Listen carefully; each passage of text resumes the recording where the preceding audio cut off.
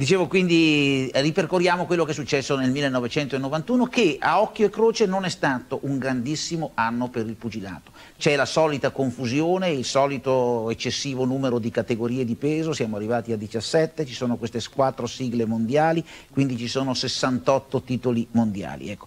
C'è un clima di autentica anarchia, adesso stanno proliferando le sigle, se ne, sono, se ne, ne nasce ogni giorno una praticamente ma io l'ho detto ancora qualche anno fa, lo scandalo non è che ce ne siano 4, 5, 6, potrebbero essercene 10 o 20, lo scandalo è che ce ne sia più di una.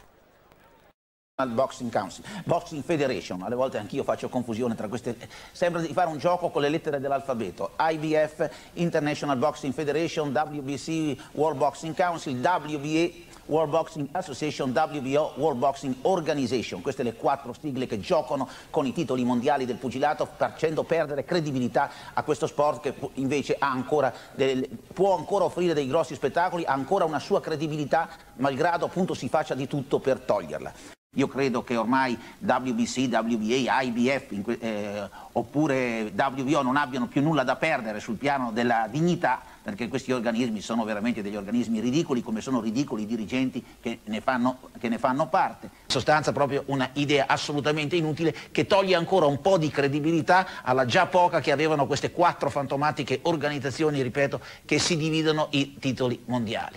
Nella scala dei valori si vuole che forse la WBO sia la peggiore, probabilmente è anche vero, l'episodio proprio dell'incontro tra Morrison e Tomacek è stato uno dei più penosi ai quali si sia assistito negli ultimi, negli ultimi tempi, però adesso la IBF ecco, pone la sua candidatura ecco, al ruolo di organizzazione più inutile. L'inizio della carriera, la cosa straordinaria è questa, che Marvin Hagler è giunto ad avere un'opportunità per il titolo mondiale dei pesi medi dopo aver sostenuto 50 incontri e alcuni di questi durissimi. Oggi ci sono pugili che dopo 10 incontri combattono già per il titolo. Your first title fight came after your 50 fights.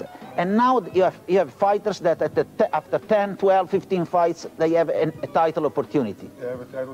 Sì, hanno questa opportunità, se non gli va abbastanza bene, allora posso andare a un'altra categoria e, e fare un altro, un altro compartimento, quattro opportunità. Io raccomando caldamente che, che ci fosse solo un campione in tutto il mondo, non quattro. Come posso essere io campione? Campione e lui dice che lui è campione.